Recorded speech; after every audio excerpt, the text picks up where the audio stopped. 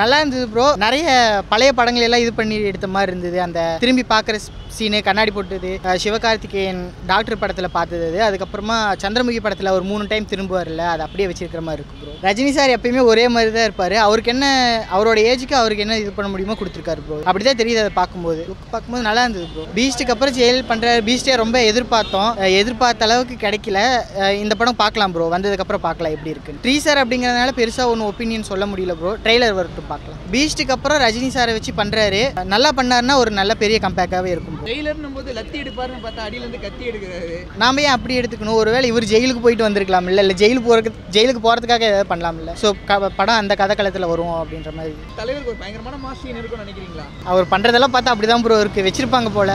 பார்க்கலாம் bro Anirudh music எப்படி இருந்தது? அனிருத் அனித் சார் எப்பயுமே பிஜிஎம்லாம் சூப்பராக இருக்கும். அதே மாதிரி பண்ணியிருக்கிறாரு. அவர் அவரோட எஃபெக்ட் எப்படி இருக்குமோ அதே மாதிரி கொடுத்துருக்காரு ப்ரோ கண்டிப்பாக இருக்கும் ப்ரோ இந்த படம். ரொம்ப நாள் ஆச்சு இது தலைவர் படம் வந்து ஆமாம் ஆஃப்டர் லாங் டைம் ஒரு படம். பார்க்கலாம் நல்லா இருக்கும்னு நினைக்கிறேன் ப்ரோ வீடியோ பிடிச்சிருந்ததா? ஆ பிடிச்சிருந்தது ப்ரோ கண்டிப்பாக வெயிட் பண்ணலாம் ப்ரோ பார்க்கலாம். தலைவரோட படம் பார்க்கலாம் கண்டிப்பாக